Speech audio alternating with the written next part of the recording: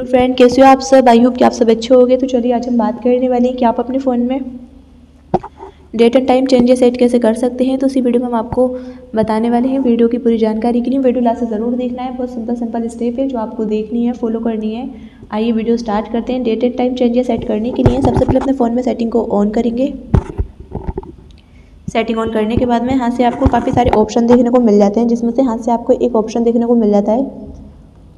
System का आपको यहाँ सिस्टम पे क्लिक करना है। सिस्टम पे क्लिक करने के बाद में आपको डेट पे क्लिक करना है। जो भी डेट सेट करना चाहते हैं, आप यहाँ डेट सेट कर सकते हैं। जो भी आपको टाइम सेट करना है, आप यहाँ पर टाइम सेट करते हैं, कर सकते हैं। आपको अपने फ़ोन में date and time automatically set करना है तो आप इसे ऑन कर देना है। इस तरह से ऑन करने के बाद में आपके फ़ोन में date and time automatically set हो चुका है। आई होप कि आपको वीडियो अच्छी लगे। वीडियो अच्छी लगे तो वीडियो को लाइक करें शेयर करें। चैनल पर नए हो तो चैनल को सब्सक्राइब करें। मिलते हैं अगली नेक्स्ट इंटरेस्टिंग वीडियो के साथ। तब तक के लिए बाय एंड टेक केयर